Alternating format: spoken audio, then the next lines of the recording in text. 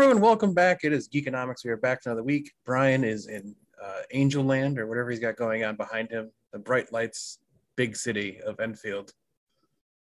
We are here. We are talking all things nerd that have happened in the past week. Uh, Bryon is continuing to do this show separate from me because he's afraid I'll slap him because that's the thing to do nowadays. Yes. I slap a person. I'm afraid I, I'm definitely afraid of being slapped. So I stay I don't even leave the house anymore. Yes, when you do, I- you leave in a bubble. I actually went to get my mail and the mailman was walking away from the door. And Yeah. as I opened the door, he literally turned around and he was gonna give me the backhand. Ugh. He was like this, he was like, Don't you dare. And, then I was like, I Don't you shut the door talk about any movies that I might be in? I shut the door and he's Yeah. like, That's what I thought. That's what I thought. Yeah, and then exactly. I open the door again to get the mail, and he went, "Oh, Oh, don't you see? dare!" yeah, yeah, yeah. They See? shut the door again. He's like, yeah. "Oh, that's what I thought." Yeah, you like rush to and from places so you don't get near people that might slap you. Yeah, I have to wear a helmet. Slapping, as I'm calling it. The slapping. I like that. The slapping. It's just hands that are just like, Yes. Yeah. Yeah. People just get they just start slapping people. They have no reason why. yeah. I can't stop. I'm sorry. I didn't mean to do this. M Night Shyamalan's next movie is gonna be Slapping. the slapping, It's a sequel to The Happening. Mark Wahlberg just walks around slapping people for two hours. and then when he slaps you, he says, "Say hi to your mother for me." How's your mother doing? How's your mother doing? Say hi to your mother for me. Slap. Hitting people in the back of the head. Yeah. Don't be an idiot. Don't be an idiot. Slap. I, you know, as much as I hate the happening, I might pay to see that movie. Right. Pay this is slapping. See, I- we, yeah. should, we should do this. We can make money off this. Yeah. I mean, Will, Will Smith could cameo and just slap a random person. it could start off, the movie could start off with that scene from the I mean, instead of Oscars. cameo now, you have people you can hire celebrities to slap you. Yes. Yes. It's like Well, cameo. Let's let's call go- it slapio. Let's go back to the movie, right? Yes. The beginning starts off with the Oscar uh, moment. Yes. Yes. And then what happens is people get infected. That's Yes. how he infects everybody with the he's, slapping. he's patient zero. he's patient zero. And we all become infected with the Yes. with, with First you laugh about something and then you randomly get mad about it and rush Yeah. up on people and slap them for no reason, right. really. It becomes an epidemic. Yes. Um, then That's my like- whole thing on this whole thing. Going back to the real thing that happened. When in that moment of walking up from this his seat to getting up to Chris Rock, in his head, do you think he was like, "What am I going to do when I get to Chris Rock? What's going to happen here?" And in what like thought process do you start with? Do I punch him? Do I slap him? Do I just get in his face? Like I've already committed to doing something, Yeah, he committed all right. but like you couldn't have just like stayed in your chair and saw him afterwards and be like, hey man, that was pretty jerky. Like where in your like I know Rocky's brought up in their group chats and stuff like, oh, if someone said something about Allison or Claire or Kristen or anybody, Stephanie, we would go up. I'm like, I don't think I would like my first instinct would be just to run up and slap somebody. No, that wouldn't be my first instinct either. my first instinct would be like, okay, I need to talk to that person afterwards. Yeah. Like, hey man, Yeah. that was not uncool. cool. It was uncool. Yeah. I don't think I need to do this in front of millions of people on live television. Right. Totally. I also think you're we're conflating the two between a a comedian a comedian coming on stage who's roasting people, or if someone was that just got in front of you just Intentionally in- getting yeah. and verbally went after you. Yes. Chris Rock and Will Smith are friends. I mean, they've been in shows. well, I guess there was a together. falling out or something. So there was like a pre thing to this. That's All- what I'm hearing. But All all that aside, I think yes. I But think even still, it's like knowing who you are. My thing on this, I didn't see it happen live. I saw it after the fact. I know. I saw it. because I tried watching the first five seconds of the Oscars, and as soon as I saw Amy Schumer on it, I was out. I'm like, I'm good. Why? I She was be a part of great. I can't stand Amy Schumer. I'm probably the only person in the world who doesn't like her. I just don't think she's funny. I don't find her like shtick interesting. So, anyways, that's my own thing. I have my own preference on that. But and it was just like listening to the first five minutes, and then they introduced the DJ. I'm like, okay, this is no longer my Oscars. I'm too old for this. I'm out. So I was done with it. So anyway, so I saw it after the fact. But like listening to the Chris Rock's delivery of the comment, it definitely was not like it was a bad joke. It wasn't. it was a bad joke that was just a thing he saw the corner of his eye kind of thing. Like he saw Jada sitting there, and he just like was in the process of just throwing out things. Like there wasn't any, any premeditation to it. I don't think. I think it was just I see a person. She's got short hair. We're at a movie thing. GI Jane. Boom. Joke. Throw it out there. See what happens. I don't think he was like, I know that you have a thing and I'm going to go after you about it. I agree. It wasn't. And the thing that Will Smith was laughing when they show him laughing as Yeah. the joke is being said, yes, and then he turns and sees Jada's reaction to it. And that's when he freaked out. But I still don't think I would have ever like I would stop laughing and get aggravated. I don't think my next thought process would be I need to rush the stage and slap this guy. Yeah. So that's where my thing. I don't know where that goes. Well, the chair and the top of the whole thing is um, when Will Smith won the Oscar, Yeah. he goes up there and starts crying and Yes. say and say how he's a vessel for love. Yes, Now, I'm sorry. Uh, what I witnessed is not a vessel of love. yes. Um, to me, Especially the fact that he went back to his chair after slapping him. They didn't like say anything to him when he got up there. Slapped him, walked all the way back to his chair, and they weren't like close to each other. no, he yelled at him when he sat down. No, I'm saying, but like his chair and Chris Rock were not like in front of each other, really. Like, not like standing in front of him. The chair wasn't like a stage chair, Chris Rock. It was Chris, like chair, stage, Chris Rock set back a good like 10 feet on the stage. Yeah. There's a distance he had to get to and back to. Like enough where Chris Rock could make comments before he sat back down. He did yell at him afterwards too. Yeah, he and then swore out. at him, saying to keep her name out of your mouth.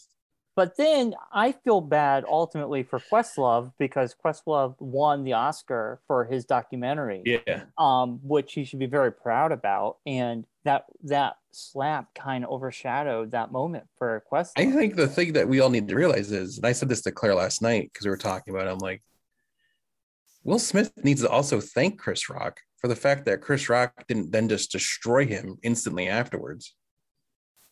But It's he's like the one person you don't slap would be Chris Rock when he has a microphone on him. Yeah, but that he could then like because he literally like you could see the process in his eyes as this like after it happened. He like got up said what he said what chris rock like re- rebounded from the slap processed it in his head like i just got slapped by will smith. And then like looked down at them and like you could see like his look of like i could literally destroy you in five seconds and then like the like thing of do not do this you're professional you know because like if someone were to slap me, my first instinct would be to probably not slap them back instantly, but to destroy them emotionally. Like you're gonna slap me, but not the guy that slept with your wife. That would be my first comeback. That's what I would have went with. yeah, yeah. You know, Well, he's a professional. I think he he's a Yeah. stand-up. He knows how to handle these moments because Oh, I know, but it was just kind of like it, I think. And today I saw that Chris Rock apologized, without a press like a release saying that he was sorry for everything he said. He didn't mean anything by it or anything. But to me, it comes out Chris Rock comes out looking better than this than Will Smith does. Yeah, I agree. Will Smith apologized on Instagram today too. Yeah. Um, but I do believe that yes, I think, in my opinion, I mean, the person Chris that's going to benefit from this, Chris Rock is launching a world tour where if you don't think there's going to be at least a minute or two to five minutes of act of Chris Rock talking about this every night, then you don't know how comedians work. Whereas any interview Will Smith does for winning the Oscar isn't going to be about him winning the Oscar. It's going to be about him slapping Chris Rock. if anybody has the balls to be talking about the slap, because why wouldn't you? If you're a decent journalist, why wouldn't your first question be what what was your mindset when you like walked up and just cold clocked Chris well, Rock? I kind of feel like like why would you Will Smith's going to talk about it eventually. like do you not know where you were? I honestly like. I feel like by Friday, I'm hoping we're done talking about this. I don't think that's how this works. I don't Um, think you understand how the news cycle works. No, I know, but I'm already sick of it. But like, I'm just saying, like, if I'm sure Will Smith will talk to someone of his choosing. Oh, there'll be an talk about Oprah interview where he goes to a Yes, deep sleep. There'll be It's- like a hard, like sit down interview with Will Smith. Will Smith to talk already about all the did, issues he's going already through. have partied with the Oscars. He's not. No one's talking. They know he won. If anybody were to bring it up, I'm sure it's going to be a tightrope because you don't. People are going to be like, "Is he going to slap me?" like if I, I bring just, it up. I just think it's like one of those things where it's like if you're you're you're not to me, which is I don't know. We like journalists nowadays ask everything.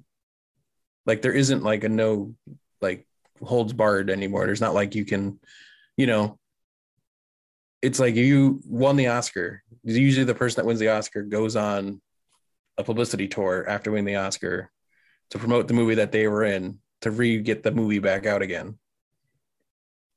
yeah, to me, it's like that will hurt like King Richard movie getting back out there again because people would be like, well, he that's won, the, like he won the gonna- Oscar. People are already seeing it.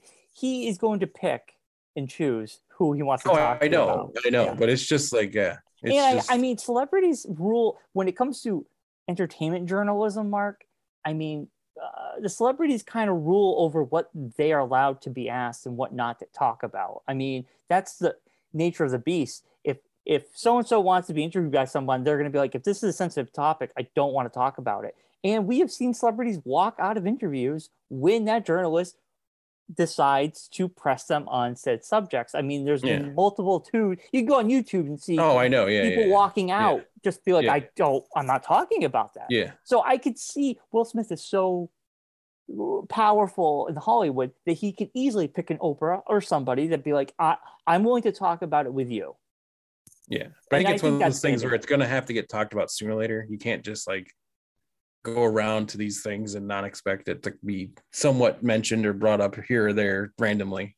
I agree with you, but I don't. I Because people are gonna remember him slapping Chris Rock more. They're gonna remember him winning the Oscar. Well, that meme is going to be is going to outlive the both of them. I think Yes. the way it's going right Yeah. now. I mean, it's it's as popular as the Bernie Mittens meme went, and I think this It's- is going to be bigger. It's all I know from the Oscars. I couldn't tell you anyone who won besides Will Smith winning because anyone talks about like, oh, he slapped a guy and then won the Oscar. I couldn't tell you anyone else who won an Oscar. I don't Um, even know who the best picture winner was. um, Coda? was that the name of it? I don't even Coda. know. Never even heard of the movie before. yeah, Coda one. I wasn't even into the Oscars this year because I didn't see any of the movies. So it's like, what's the point? Me neither.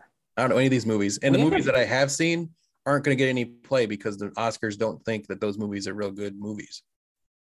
We Like we, No Way Home, any of those movies like that aren't going to be in the Oscars. Like Dune got a ton of nominations. Yeah, it was And I couldn't sit through Dune.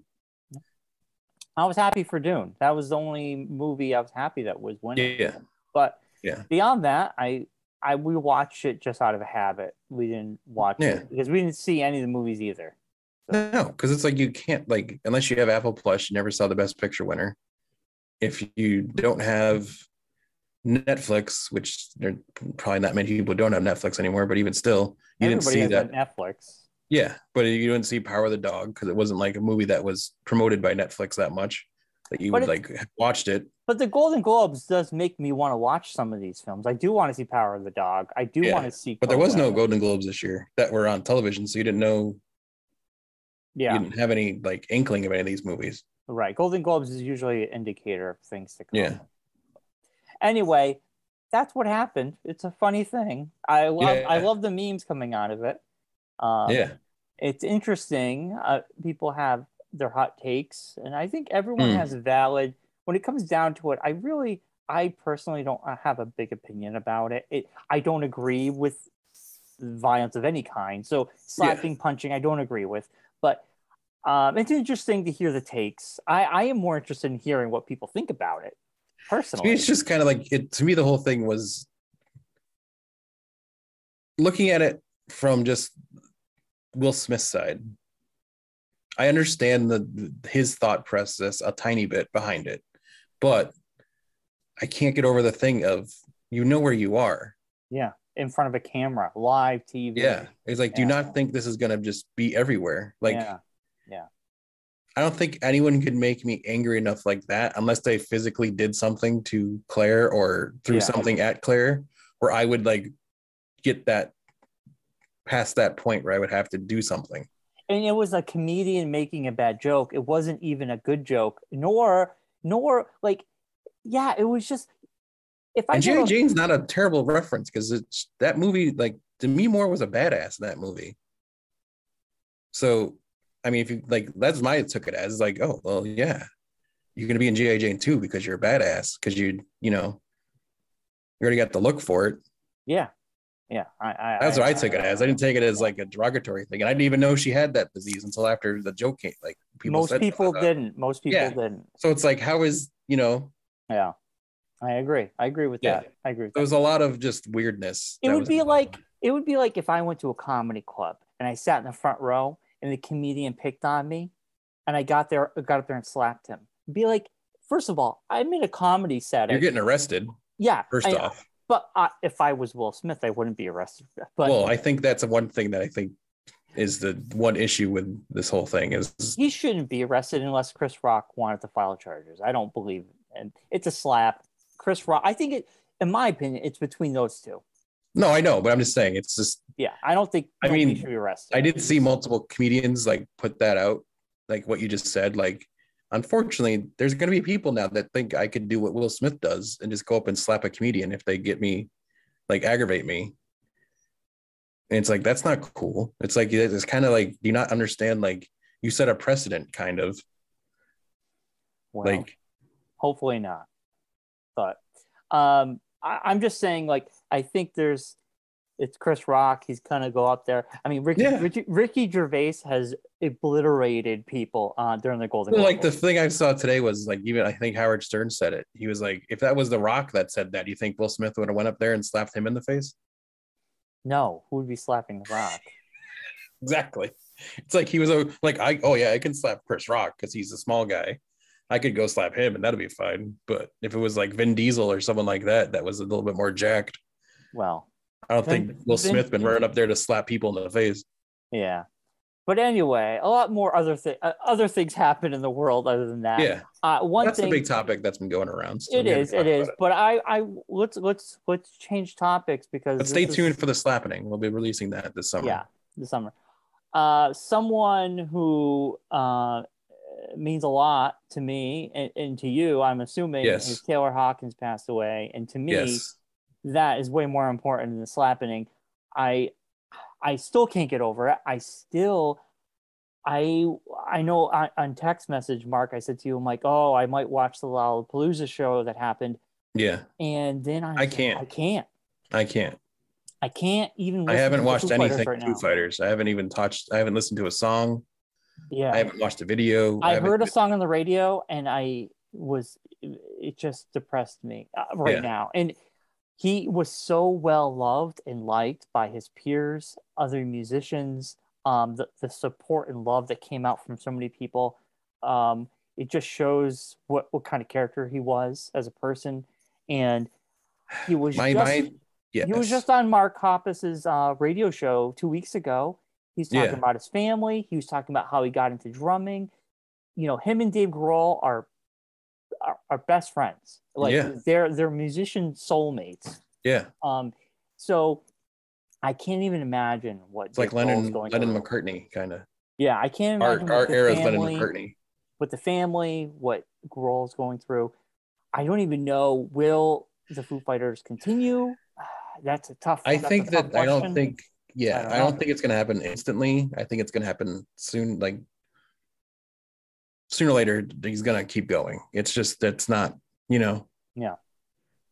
I mean. Yeah. He already did it once. Unfortunately, Dave Grohl. Yeah, but I mean, he created his own band. Yeah, but I'm saying I think it's just one of those things. It's just I Taylor Hawkins is part is like you know it's like some people in a band can be interchangeable, but for him, for Dave Grohl, Taylor Hawkins he felt like was an integral part of that band. So I understand that, but I gonna be a think I think one. that I think it's going to be a tough thing, but he's going to end up doing it sooner or later because you just have to get back on the horse kind of thing. You can't, you know, because like he did with when he invented Foo Fighters, he was like, I gotta, I can't not do music. So I think that's what's going to happen down the road. Not saying when, but down the road it'll happen. I mean, I hate the fact that it was possibly the way that what caused him to pass away. Well, it seems like it was a lot of prescription medication w- Yeah. with other things. Now he was he, he was a he was a formal addict, and when you're an addict, you're an addict for life. Yes. Even if you are real, even if you're clean or not, that's part of yes. you. Um, so he back in the early 2000s, he OD'd and he was like comatose for a couple a couple days. Yeah. And Dave Grohl talks about this in a documentary that came out about Yeah. that. And he waited by his side for days until he woke up. Yeah. Um, and Taylor Hawkins has talked about how he does not want to be he does that that's not his life anymore. The- you know, so I you know he did have a cocktail of antidepressants, which are normal. Um, it it seems like it could have been a bad combination. Uh, I read a report something about his heart being really swollen and big. Yeah. Um, Which I- could be from back when he was like something that affected it from back when he was doing drugs back in the day yeah, I mean, that could have caused that. So Yeah, A part of me doesn't really want to know all the details. It's sad enough that he died. I, you know, I don't want to. yeah. You know, what I'm I mean, I hate the fact that like I don't hate the like like I as soon as you I got the news, Chris Giard messaged me at like midnight, and I think it was Saturday night Yeah, when it happened. And he messaged me on Facebook on through Facebook and told me what happened. And I hate this. Like my first thought was, oh, another one to drugs. You know, well, it's tough. Uh, it's a t- once you know getting out of that addiction is a tough. It's a tough road. Well, I know. I, I mean, I we both know personally through connections to it that it's not the easiest thing to deal with. Yeah. I mean, I lost my uncle because of it. So Yeah, yeah. So as soon as I saw it, I was like, oh no, not another one. but But Um, it's just yeah, it, it- sucks because it's like you like and it's even worse that it's I think it was just because you just didn't think about it. Like you didn't want to think about it. You didn't want to know like like I didn't want to believe it at first. I was like, oh, maybe it was someone, you know. But and we just saw the movie yeah, yeah, they were in and everything. yeah, And I'd said to Claire after the movie, she's like, how's the movie? I'm like, it was great. Just Taylor didn't look healthy. Like, I don't know, he's always been sh- like very thin. it's the way he's always looked, though. I know, but he just always looks very like real thin. Like I jokingly said to Claire, I'm like, he looks like look like James. He's always very thin and gaunt looking. So, yeah. But no, it was a tough one. It's been tough. I haven't, like I said, haven't listened to anything Foo Fighters. Haven't watched the video. I can't. I see that video pop up all the time on YouTube about their last performance, his last song Yeah, that he sang at Lollapalooza, whatever there, and I'm like, I can't do it. I can't. I mean, I I will say this. I will say let's let's end this on a positive. I'm happy that we got to see the Foo Fighters with Weezer and Ha Ha Heat yes, in New in Bridgeport, right? Bridgeport. Yeah, I'm very thankful we got that opportunity. Um, Yeah. I'm I am thankful that I my first time ever getting high.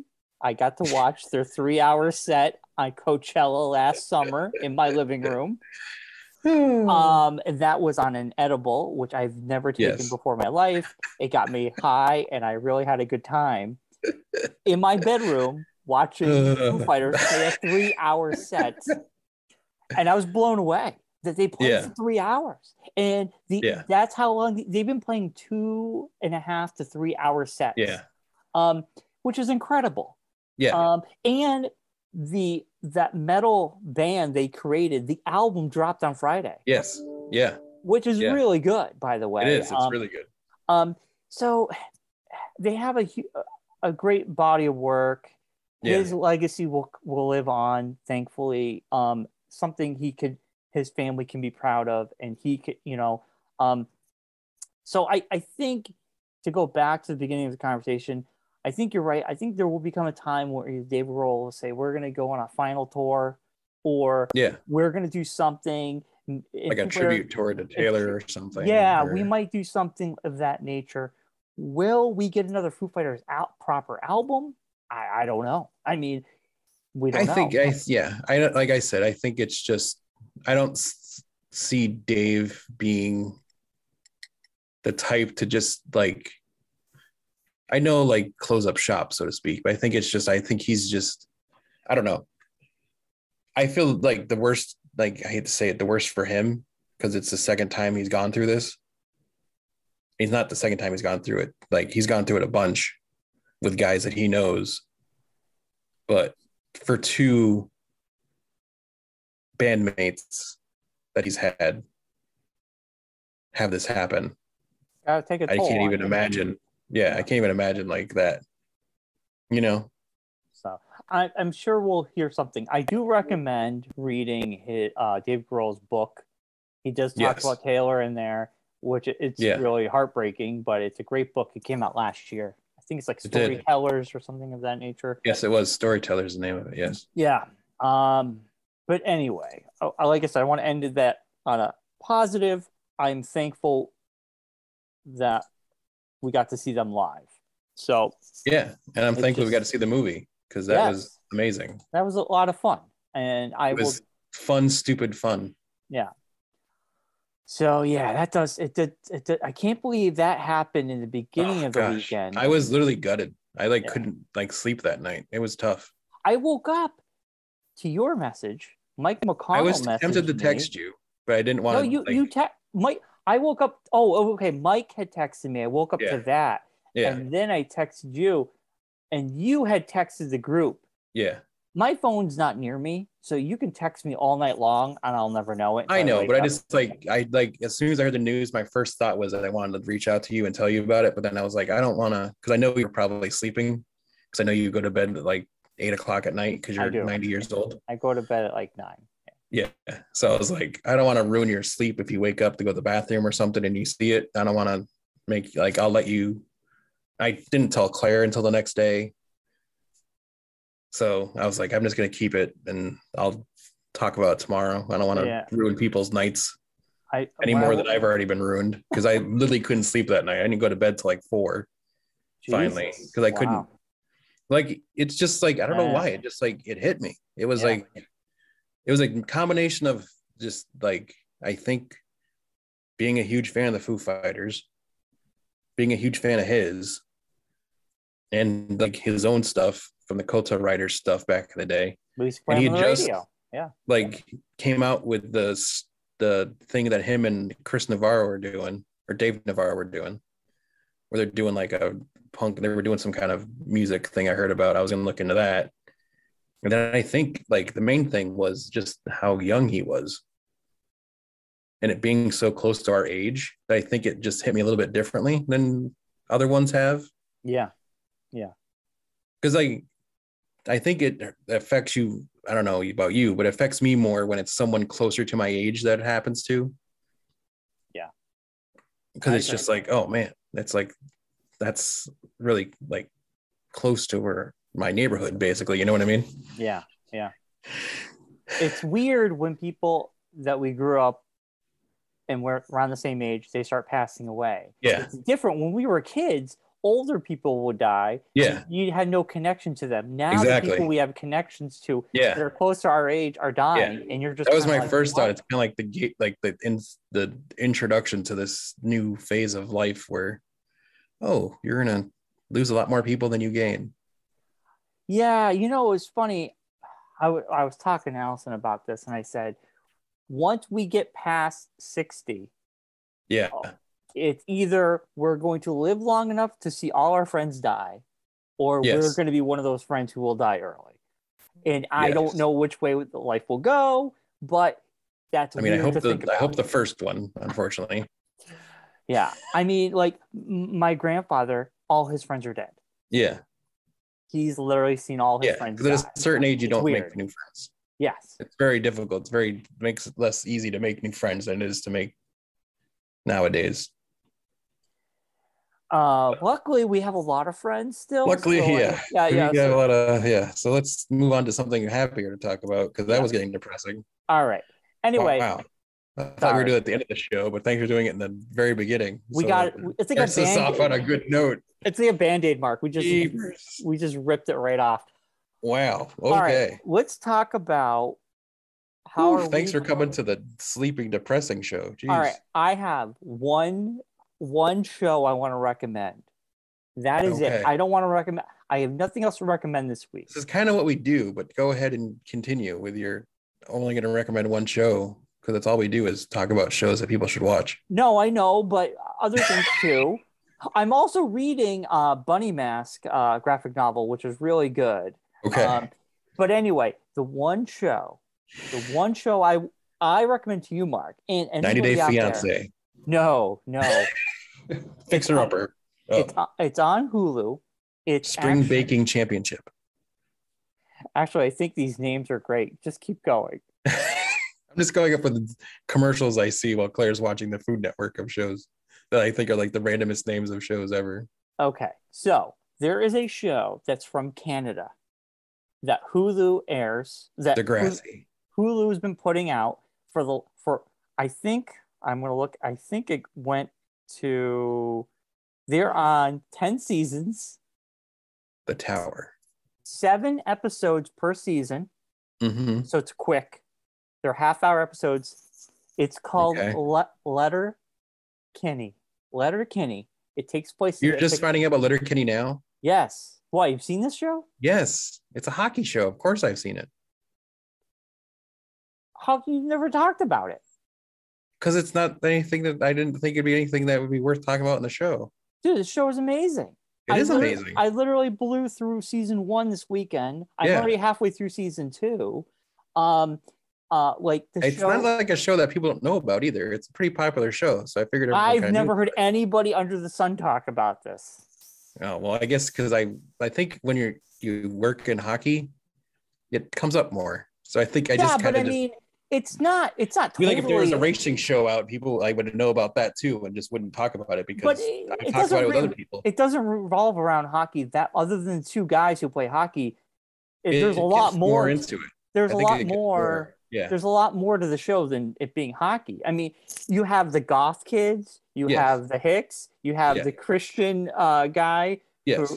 who, um, you you have the two hockey knuckleheads, Yeah. um, but and then like you have the sister. The characters are fantastic. I can't get enough. It's so Yeah. quotable. yes. Like um, it's a hard no, or Yeah. it's a ten, it's a Texas 10 10 4, or Yes.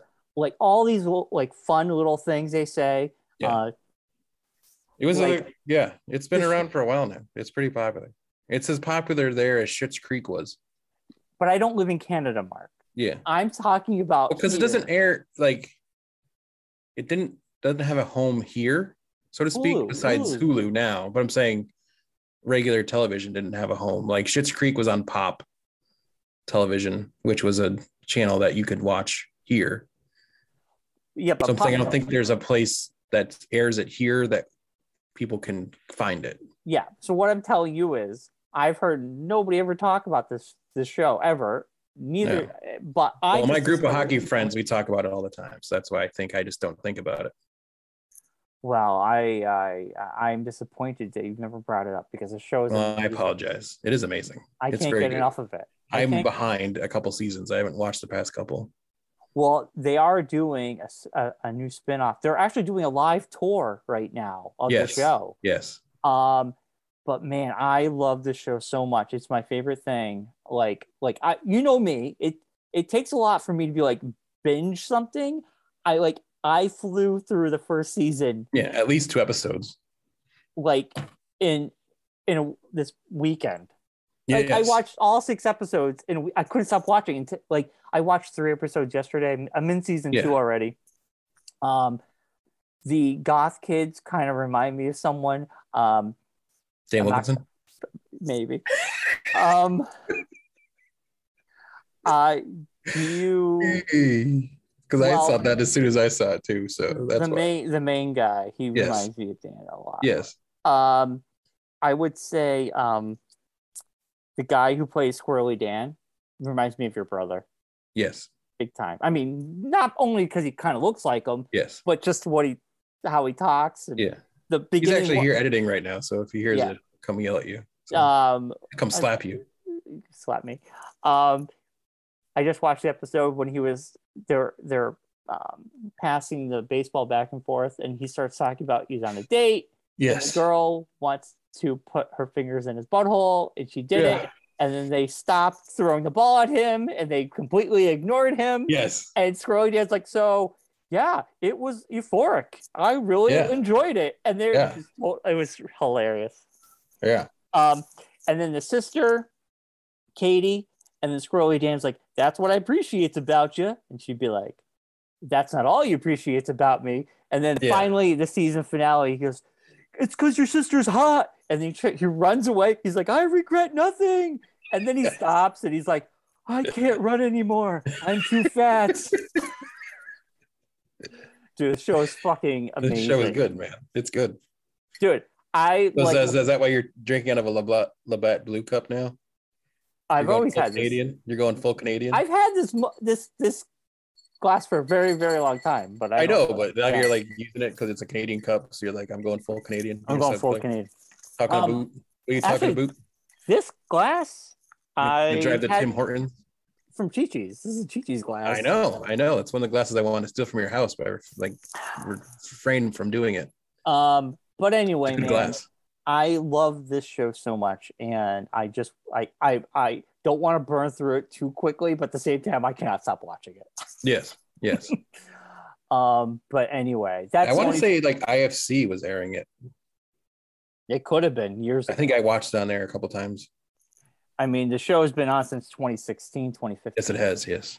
So, um, and th- th- other than that, Marc, uh, you have any anything worth talking about this week before we get into I Halo? over the week over the weekend, uh, besides watching Halo, I finally uh, watched the Adam Project on Netflix. oh, the movie Ryan we're supposed to watch and talk Yes. about. Yes, Yeah, how was that? yeah. It's it it wasn't it wasn't terrible. I I heard good things. It's definitely a streaming movie. I wouldn't have went to the theater and watched it. I would have been more depressed if I had paid for it. That's for sure. Um, the uh, uh, the sorry, I got an email and the thing popped up and he distracted me. Um, there's definitely you could tell why it's a stream like a Netflix movie as you watch it. Yeah. Because the concept is good. I'm not gonna like ruin it for anybody, but there's some CG stuff that's like, oh, this is why it's Netflix. there's like a de-aging thing they do I heard it was. I heard it was. which is really bad. yeah.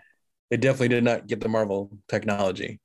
Um, But you enjoyed it overall. I enjoyed it. It was good. Ryan Reynolds is hilarious in it. He's really good. Him and Mark Ruffalo together is very funny. I definitely made me think about how awesome a Mark Ruffalo, Ryan Reynolds, Hulk, Deadpool movie would be. Amazing. yeah, yeah. So yeah, it was good. It was this it's a nice little under two hours movie. So you breeze breeze right through it.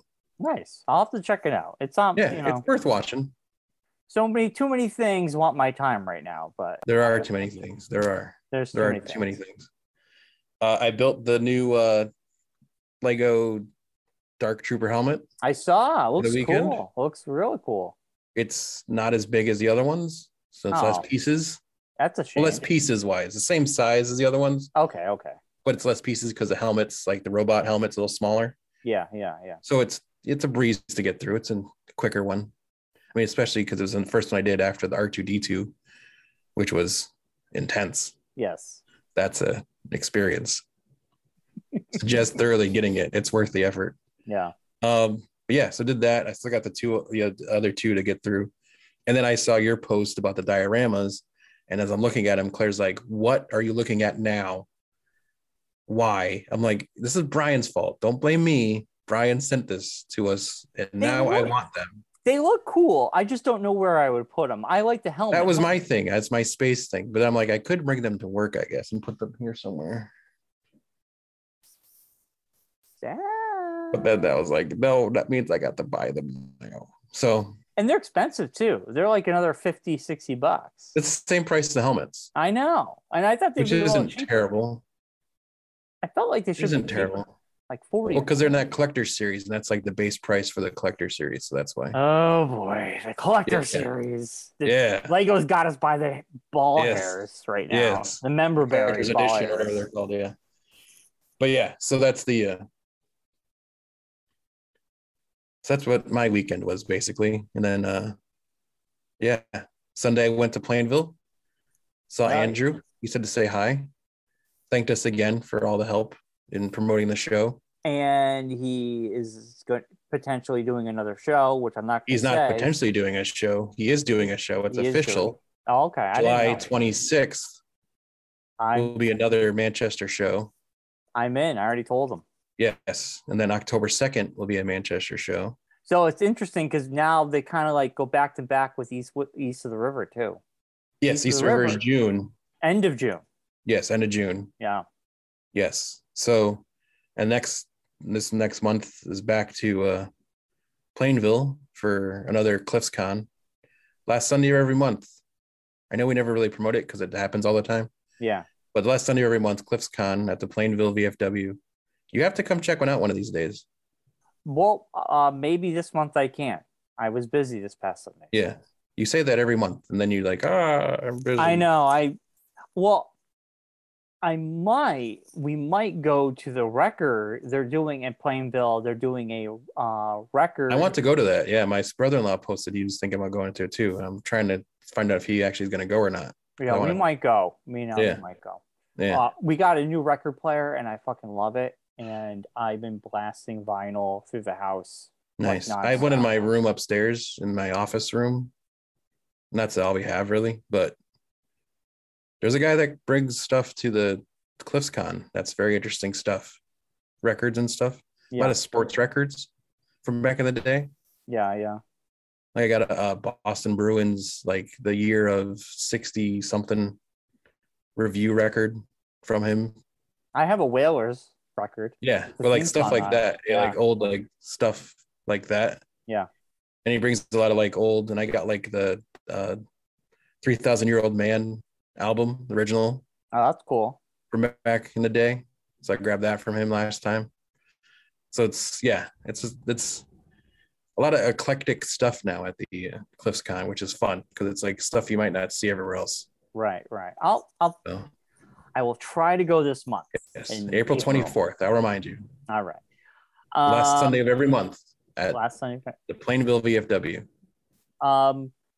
All right, Mark. Let's talk Yes, about. Oh, really quick before I forget, Whoa, whoa, whoa, uh, we're gonna work on finding a day in the next month or two that Matt Ryan's gonna come on because he is just about done with his new book. Oh, Yes, Brenda Okay. is almost ready to come out. So I'm excited. Well, he's thinking have- in the next month or so he's gonna have it printed and ready to go. So I, Yes, let's do it. yeah, Let's do it. Um. it's his take on like the Conan world, Yes. which is very interesting because he's a huge Conan fan. So I'm very Yeah. interested. I've heard this pitch literally. We were talking about it yes on Sunday. He pitched this idea to me.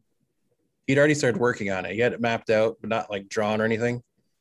He'd pitched this to me. I want to say three to four years ago now, at Yeah. IHOP in Springfield. Before a show, we met for breakfast. Because he's like, I got to talk to you about something. I need to get this out of my system to somebody, and I'm picking you to talk to about it but you can't tell anyone about it afterwards. I'm like, do you know who I am? Like, why are you doing this to me? Mark will tell everybody. Ah! So it's been very stressful. So I know the whole story. I just haven't seen it visually. I know what's happening and how it happens, We don't know like the the gears and works and how it got there. So he's been wanting to like showing me this past this whole time. Like, I want to show you. I'm like, no, I don't want to see anything. I know the story. I want to be surprised and see. Like, it's almost like when you read the book Yeah. and then you find out they're doing a movie about the book. I want to be surprised. I want to see them. I want to see the movie when it comes out, and I want to know how it was made. Right. Right. Right. Right. So that's well, when we have him on the right show, we'll save it Yeah. all for then, and he can tell us everything. Yes, and there's some other stuff in the works too that I'm working on. So, All right. which I'll tell you about off camera. Yes. Tell me off, off of uh, Yes, the show. All right. Let's get into the first episode of Halo. Did you watch it? I did. I did. I watched it on Thursday. Uh, yeah, it comes out on Thursdays. Uh, episode Yes. two comes out this Thursday. Um, I I enjoyed the first episode overall. Uh, I kind of disconnected that this is a different thing than the video games. So here's the caveat I'm going to throw at you. Yeah. We're coming at this in two different ways. We're going to come at this show in two different ways. You played the original game. I played them all. I did not. I only started playing it in Halo 2 when we started playing at John's house. This is a totally different story. So here's the thing I'm saying about how we're coming at this differently. You know the original story of yes, Halo. I do not. I know it just like the like the recap they have in Halo Halo 2 at the beginning. Like the world was this, the covenant this. So I don't really know anything from Adam. So I'm going into this totally new. And I think that the viewership needs to think of it that way. Not many people that are watching this show, like generally, general public, have ever played Halo. Well, a lot of folks who are into Halo are. Wa- I'm sure going to watch the first. Oh, I know what I'm saying, but the majority of the like I think a majority of the people that are going to watch this show and it's marketing it to It's marketing non- towards everybody. Yeah, everybody, not Yeah, just people yeah. who played Halo, right, which is nice because it's a different take on Halo. Yes, it's it's its own thing. Yes. Um, I I mean I thought the action in the beginning was really well done. I enjoyed it all. I enjoyed the whole episode. Yeah. Um, I they ripped the band-aid off by sh- letting him take the man the helmet off, which was a little weird. I don't know how I feel about it yet. Is this I understand why he did it in the context of the show. For me, it sort of worked, but I hope to God that this helmet doesn't just stay off of him now because it. Doesn't I don't think it's going to because the way that the way that he fights, I don't think it'd be possible for it to happen. And there's like stuff in the trailers that we've seen, like Cortana is going to come around, and that's going to involve having the helmet on. You can't do that without the helmet on. No, yeah, no, she's gonna be like just a hologram. She he can have the helmet off. Well, I know, but I think that it's going to like there's going to be stuff that he needs, like when he's in battle and things, the helmet will be on. I hope so. I think that we're under the weird thing because of Mandalorian. And people are like comparing the two and how this is a lower rent Mandalorian and all that. Is that it's two different worlds completely, two different stories completely. And the the fact that like we've kind of been spoiled with the fact that Pedro Pascal has been so like magnanimous basically of not showing his face constantly. Because they have rules. See, Yeah, the it's very Mandalorian tough has for rules. it's very tough for an actor to just be like not showing your face in the whole thing. Basically, you don't see who he is. But see, Master Chief, there is there is that he never took it off in the game, so it is kind of weird. Well, it's also a video game, and it's also a first-person shooter video game. But his So, hel- would- I mean, they're super you wouldn't really- Have any reason for him to take his helmet off in the game? right? So I Whereas mean, in a TV show, it's a different medium. yes, I agree. So if you're just trying to convey anything with somebody that just has this bucket on their head, it's very difficult to do that. I mean, I think the with the whole helmet thing aside, I mean, overall, I thought the first episode, I give it an eight. I mean, I'll just say it right now. I enjoyed it. I thought I, I liked it a lot, and Yeah, I it was really done. The, the aliens look awesome. yeah, I I think The for, Covenant all looks really good. for the most part the CG was decent. It looked high budget. Yeah. Um, I don't. Now, is there like I can't like I'm going to you for this because you played the game and know the lore and all that. There was there a human like connection to the Covenant at all? Well, the, what see in the Halo doesn't really go into the humans really much. I mean, it's so it's interesting. They're going to really focusing on the humans in this. This is the least popular or least uh, interesting thing about the games were the humans. But the books, I never read the books. Uh, I know John did and other people did, and I think the books go into that more. So I kind of feel like they're diving into things that Well, like the human members of the Covenant is what I'm saying. See, there is no human members of the Covenant in the game. See, that's I think that's like a divergent thing from the game itself. That, there's, like, girl, that girl with the weird thing, that would Yeah, that that's does reading the, the Earth book or whatever. the- Yeah, yeah. I mean, I, I, yeah, I don't know why they brought humans in like that. Like it's weird. I just like uh, my first thought as I was watching the episode is are they gonna do the thing where she's John's sister? no, they're not. He's having memories, I think, but I don't think they're going to be related. Or something like that. Like that's like they're like sounds very Star Trek. mystically connected or something. You know what I mean? Yeah, I don't know. Like as soon as he touched the the the object, it ignited or turned on, and he's the only person that could turn it on, and like that Yeah. kind of thing. I mean, yeah, the the plot there is very good. It's all right. I mean, I could see. I want to see where that's going. If it goes Yeah. to anything bigger, um, yeah, that would be weird uh, because these people were kidnapped when they're young and, and, and doctored into the military. So he should not know his past at all. He would not know anything. So I don't see how she would be related to him. I, I, I don't think those would be connected. yeah. That's just my thought. Mm. Who the hell knows? Who knows? This is completely different than what you've ever seen before. I know. This is only based. This is all loosely based off the video game. That's what their like big thing when they were promoting this movie was. It's just we're just using the world that was Halo, Yeah. and we're telling our own story based off of these characters. Yeah. It's they're just using the IP. It's just funny that every character looks exactly like the characters from the video game, but not the same story. It's just that's my only weird thing about it. yeah. He's like, oh wow, these all look exactly like the people that were in the video game I played, but they're not telling the same story that I watched. Yeah. They're t- I mean, That's all. Like Halsey looks exactly like Halsey. yeah. Um, but see, Halsey. The general there looks exactly like the general from the first game. Yep.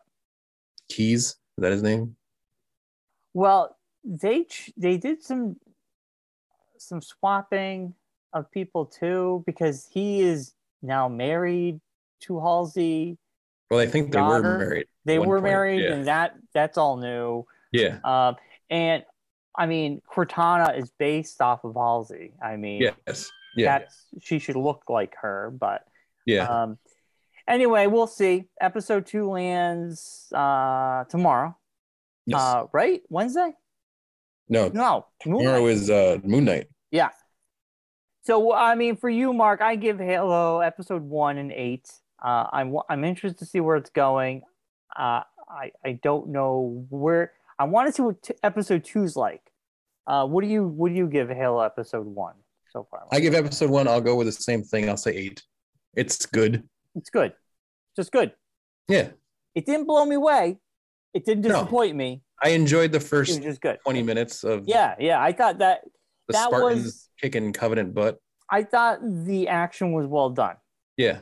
Uh, well, I, I, I- just want to see what episode two is going to bring us because that's where I hear there's some trouble. But Yeah. I want to see that for myself. Yeah. Um, now, tomorrow, episode one of Moon Knight lands. Yes. Um, Moon Knight.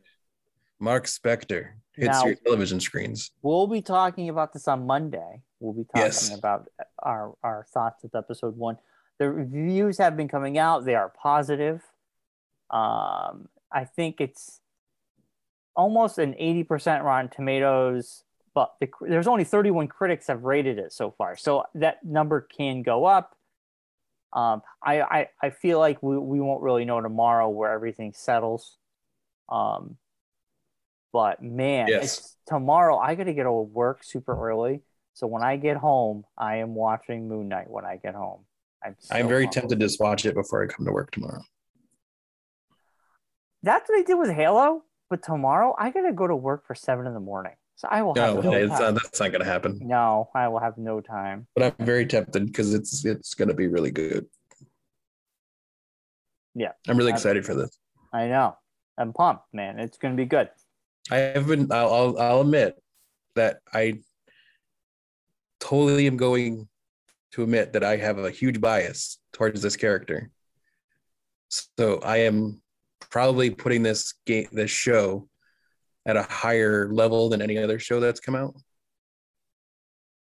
Only because of who the character is, and the fact that I've been a fan of Moon Knight since the '80s when it came out because he has the same first name as me. And when you're younger, you don't see that often.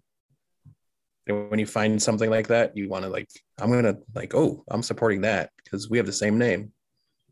Just dumb, but that's what I did. So, yeah, Yeah. makes me regret when I was younger selling all my Moon Knights. I'll tell you that Why would you do that? because when I was in my teenage years, I wasn't into comic books and they were worth nothing. So I just like sold them for chump change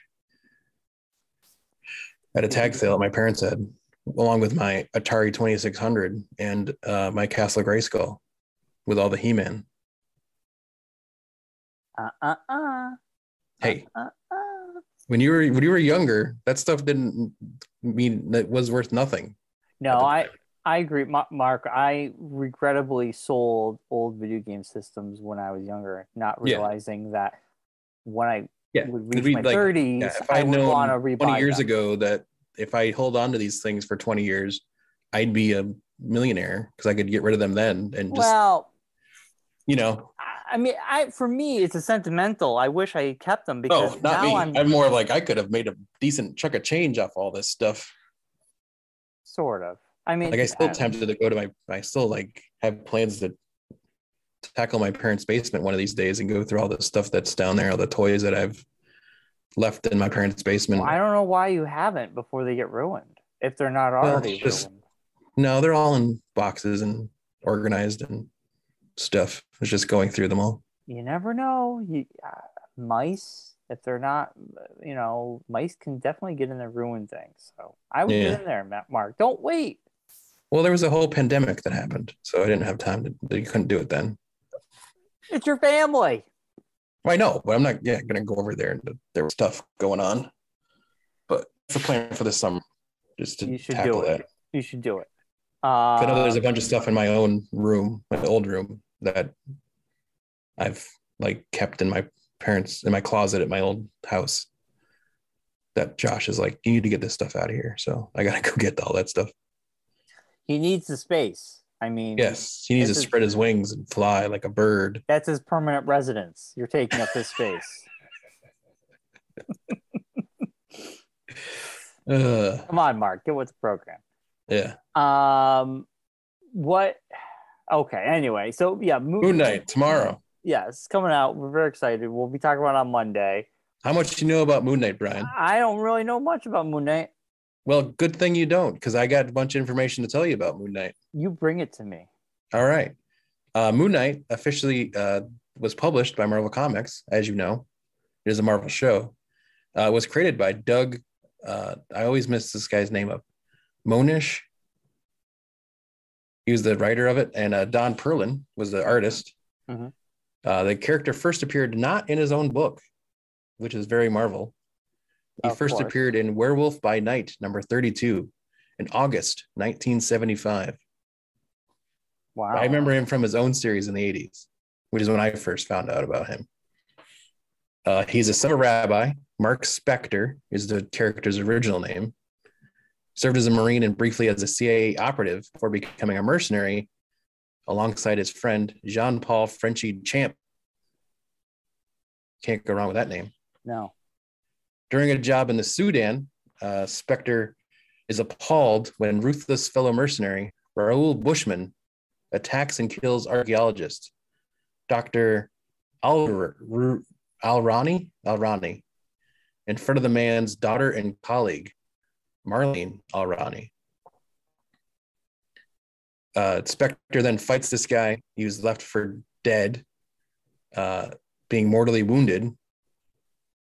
He reaches uh, Alraune's recently unearthed tomb and is placed before a statue of the Egyptian moon god Khonshu. Spector dies, then suddenly revives, fully healed.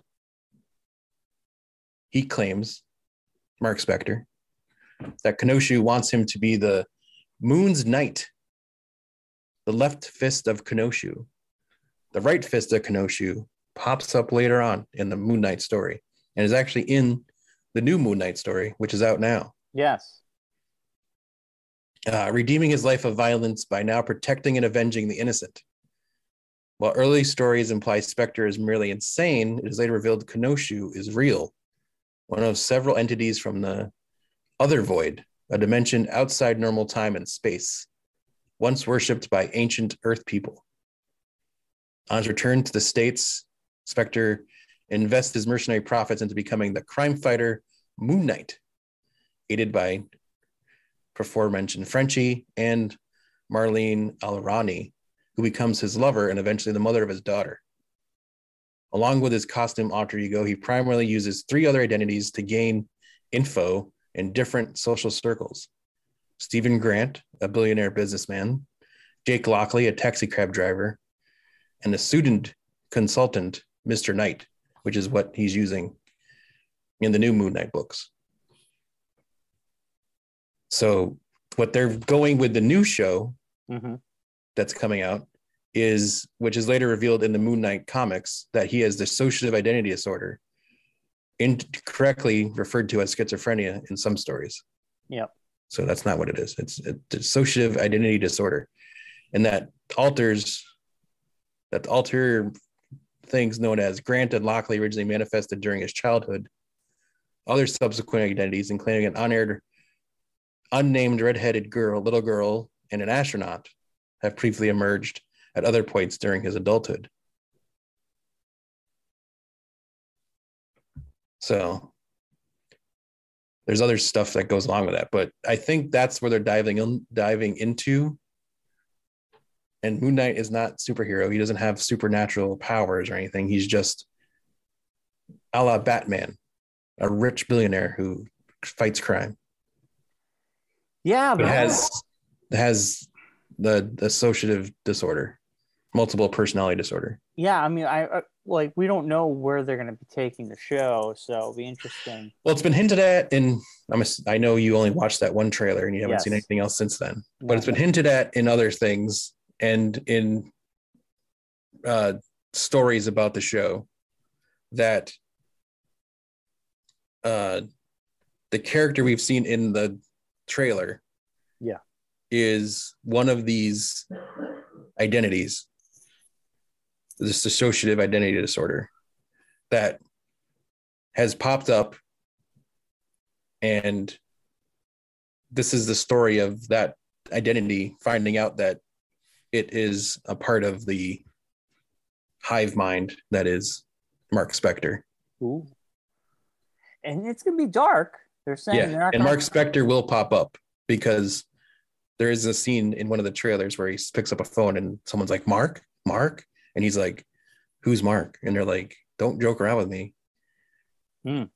So I think they're going around with the story that this is like the first time in his adulthood that the dissociative disorder has popped up, and this identity has been around for a while now and has established a, a a section of the world and that the other Marc Spector's identity original identity is trying to come back out right, right. and the moon knight is coming out at the same time Ooh, it's going to be good.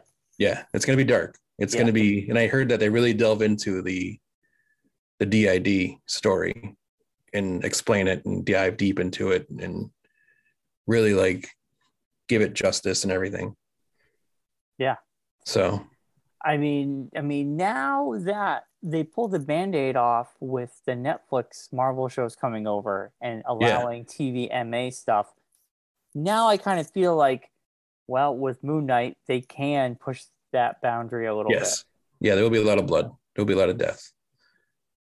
There will be a lot of dismemberment. I mean, you don't even need blood and death. I mean, you could just have a heavy topic. You know, you could. Oh, Moon Knight kills a lot of people. I know, but I mean, He kills a lot of bad guys. Yeah. So Yeah. should be good. Um, It's I- only six episodes, so it's not going to be a long, That's fine. That's all you long gestation. So I mean, most of these Marvel shows we're Gonna been get through a lot of stuff in six episodes, I think. Yeah, I think Halo is more than six episodes too.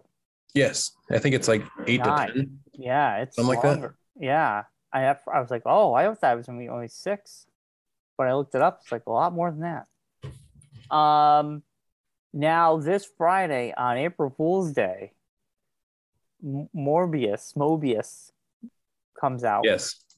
the, the review the review embargo comes out tomorrow drops tomorrow which is uh, i am going to skip it i really have no interest in seeing this movie at this point i never saw venom 2 i have no interest in seeing venom 2 um, i i will probably be one of those people who will watch a spoiler review and see and hear everything that happens Yes.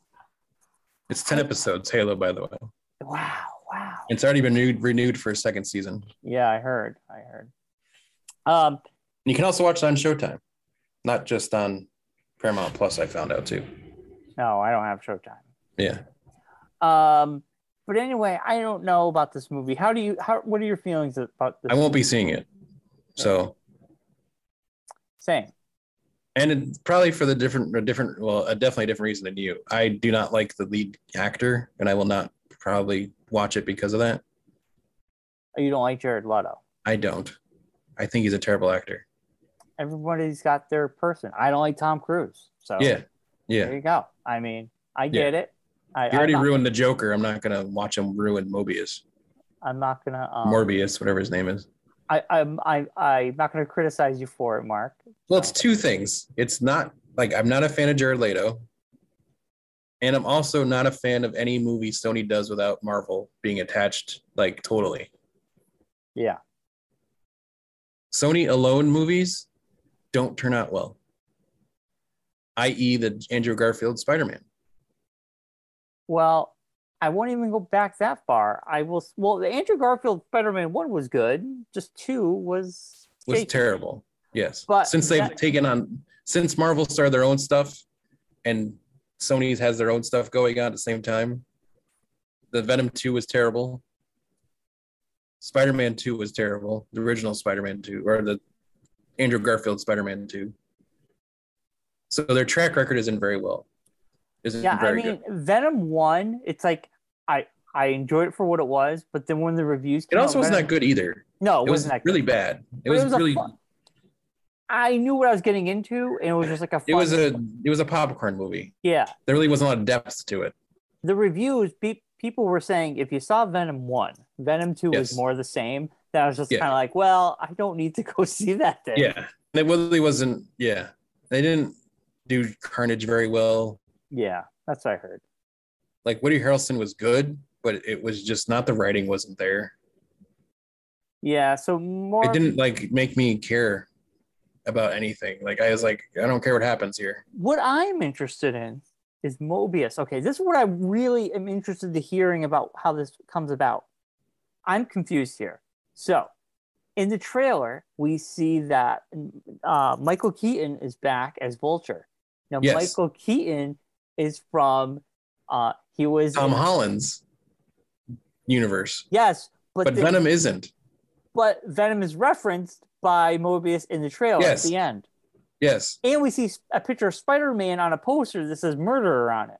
yes.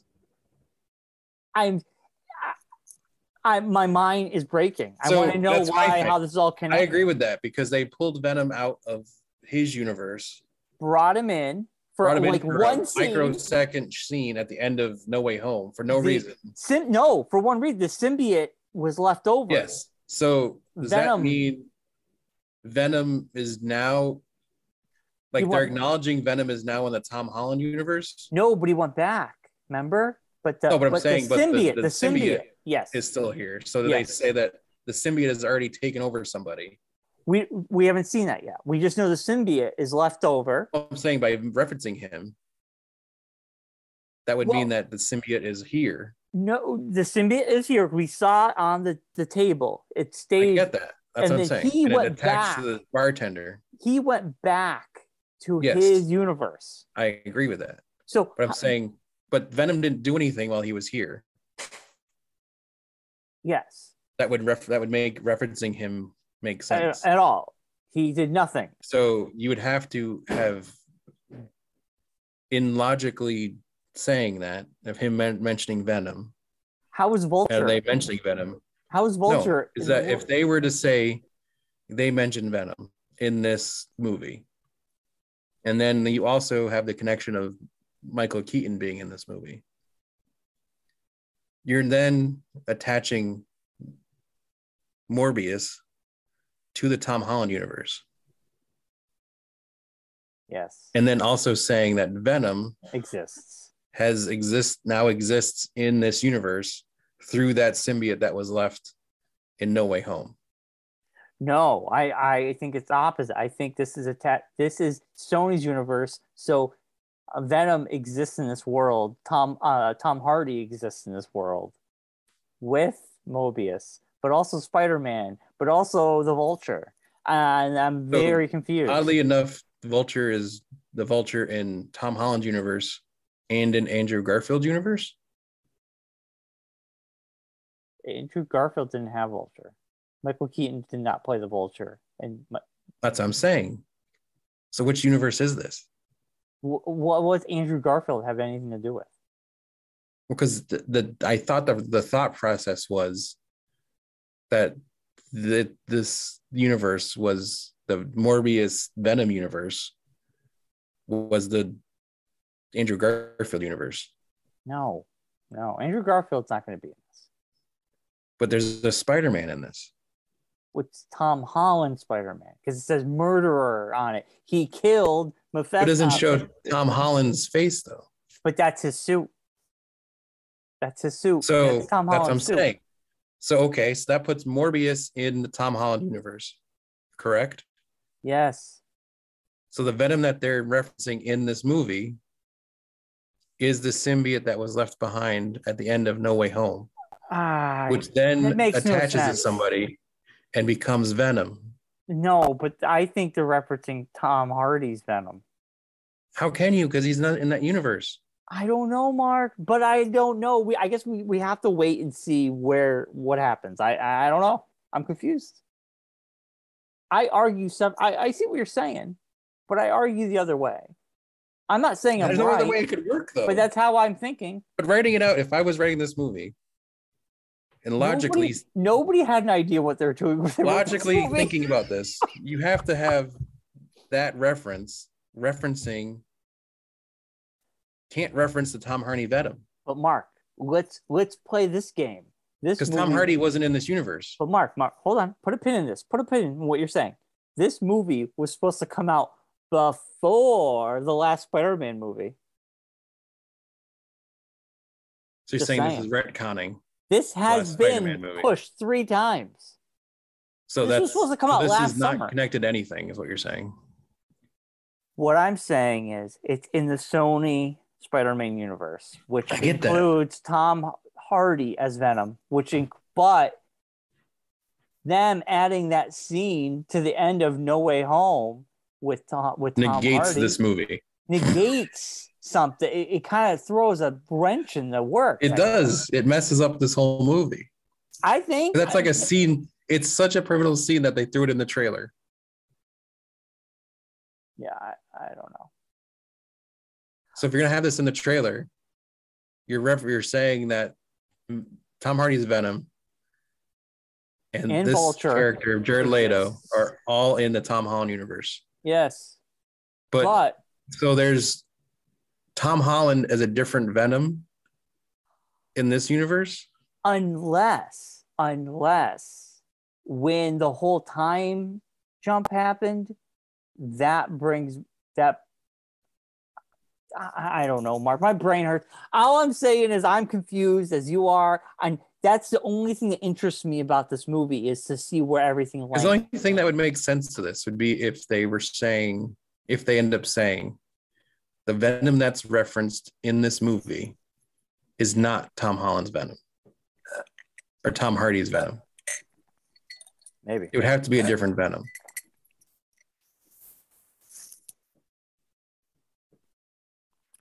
Right? Because that's the only thing that would make sense. Yeah, you're right. I I I don't disagree with you.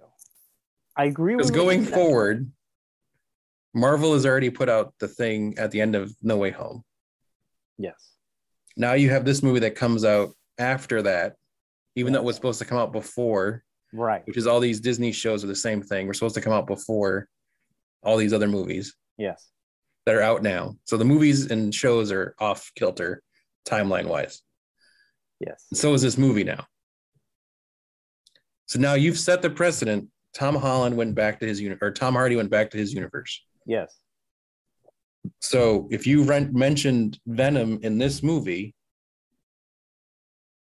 it can be Tom Hardy, but can't be the same character of Tom Hardy. Like he can't be the the the somewhat good Venom. But then you're making the audience think, and we know Too much. the only Yeah. Venom we know of is Tom Hardy. So Yes. Or my brain, or, uh, Topher Grace. yeah, but my brain is going to say that is Tom Hall, uh, Tom Yes. uh, Hardy Yes. Venom. I, Yes. So I, I don't know. I mean, we don't need to have like a map before you read see this movie. I don't know. Yes. Yeah.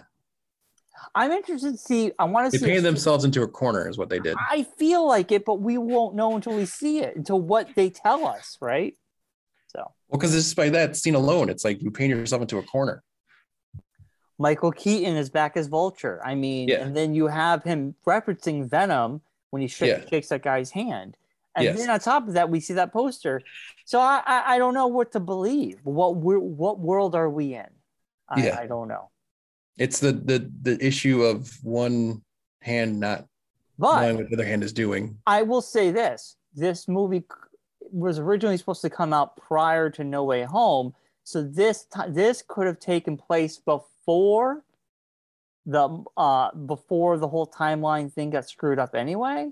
Yeah. So, because if it says murderer, this takes place in During the ti- time when they think Spider Spider-Man Spider Man had everyone killed- erased, brain erased, right. So it takes place in a time where Spider-Man had just accused of the Mysterio being killed. thing. Yeah. Yeah.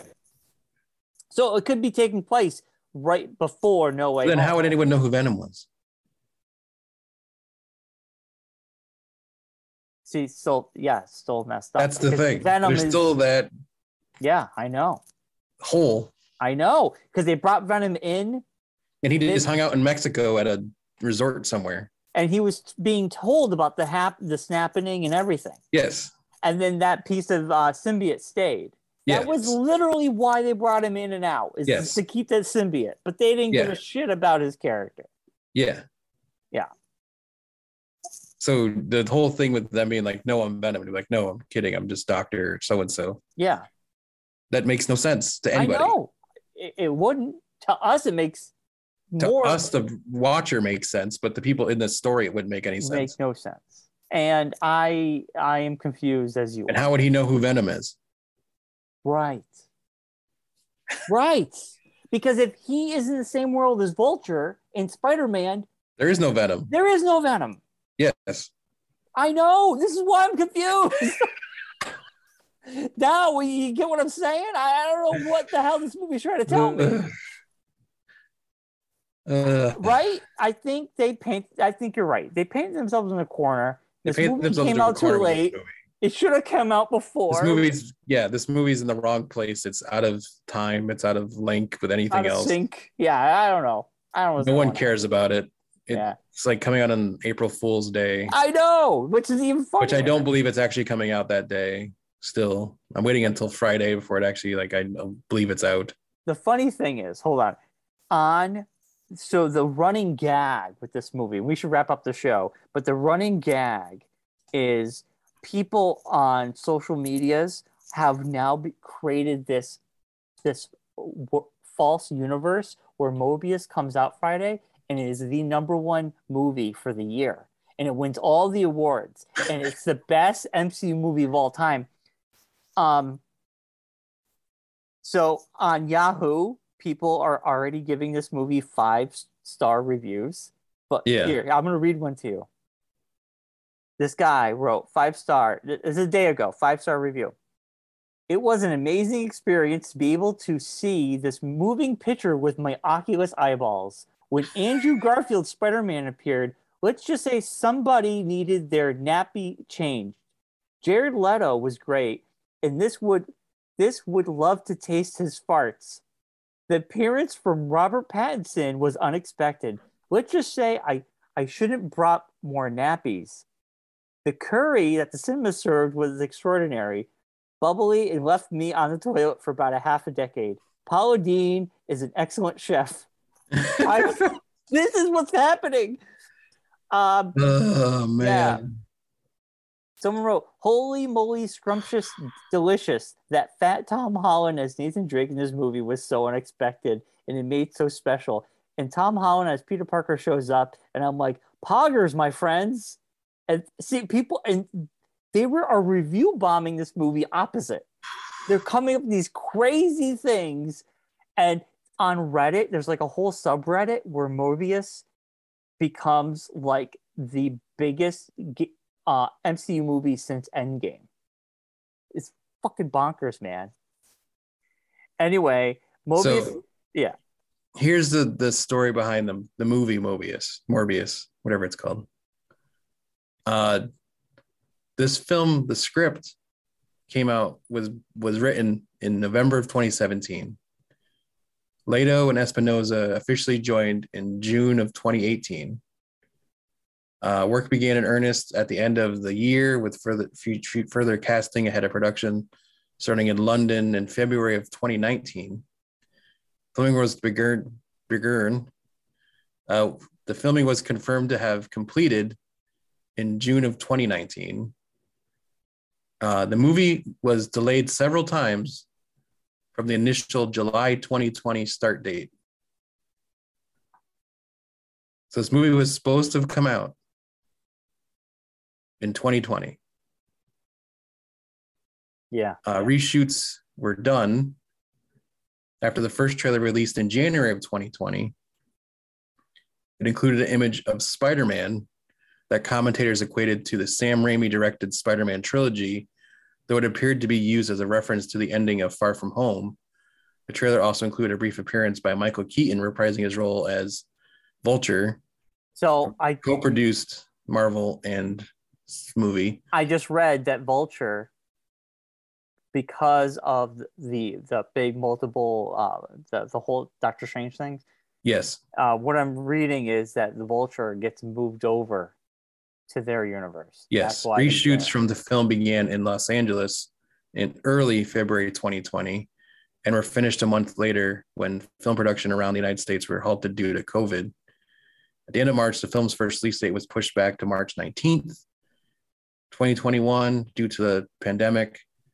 And then in January 2021, the film was delayed again, first to October of 2021, and then January 21st of 2022 when uh, No Time to Die was moved to the October 21 date. So that's why it got moved because of uh, James Bond. At the end of January, later revealed that additional research, reshoots were taking place in mid February. The film's release was moved back another week at the end of April 2021, moving it moving to January 28th, 2022 at the start of January 2022, the film was delayed to April 2022 Yeah. due to the box office success of Spider Man No Way Home. Well, yeah. which Sony hoped would continue throughout early 2022. Later that month, uh, Corey Johnson was revealed to have a role in the film. I don't know who that is and why that's important, but in Well- March, visual effects supervisor Marky Butler revealed that motion capture technology had been used for Leto to portray Morbius in the vampire form. So, Well, I just read. Okay, Vulture gets moved over to their universe, and Mobius exists with the Tom Hardy world. And the Vulture supposedly is an end credit scene. So the Ah. Vulture they show in the trailer might is just like an ending thing, yeah, supposedly, possibly. possibly. But that Vulture got moved over for this movie, so that Yeah. explains it. The Spider-Man, what Spider-Man is in this world?